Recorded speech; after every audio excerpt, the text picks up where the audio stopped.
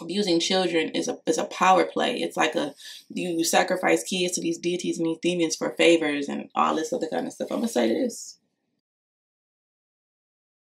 Welcome back to one of the best YouTube channels on the planet. It is me, Ormia Washington, and we all know that I'm recently understanding the truth about child sex trafficking, and um, it pisses me off. It bothers me. I feel like it's very, very demonic, and the thought of it sickens me. There's so many stories. Now you gotta understand I wasn't even, it wasn't until I became a mother when protecting my child became a priority. And it's like, hmm, okay, well, let me try to figure out what I'm protecting him from. And then you look at all these stories about all these families and all these, these, these lost souls and all this innocence being stripped. And it's like, absolutely not. So it's, I'm learning that it's important to even protect your child or your children, even against their family members because ultimately that predator needs an access point and more than likely that access point is either through a friend or a family member that you trusted.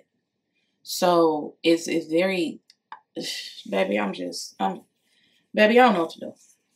I'm the kind of person i go hop in my car and pull up kick in the back door snatch that baby up just guns a blazing trying to protect these kids. And i don't it's just like okay so what do i do? How do I get involved? And I'm I'm then you got the high high powers, you got the the evils, you got the you know, I'm realizing that especially in the world that hurting children and abusing children is a is a power play. It's like a you sacrifice kids to these deities and these demons for favors and all this other kind of stuff. I'm gonna say this.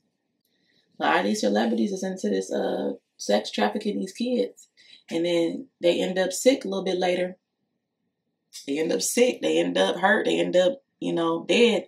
And it's like, well, RIP to the. Oh, okay. But you didn't know that they sacrifice kids.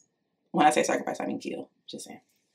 Um, Ephesians 5, verse 11 Take no part in the worthless deeds of evil and darkness, but instead expose them. That's my purpose. We all know that. And I'm just going to bring you to this channel. I'm going to talk about your favorite celebrities. I'm going to talk about your favorite institutions and organizations. Do not care. And I have to figure out how I can do my part to protect these kids from evil. I wish you nothing but the best. Peace and positive vibes. Bye.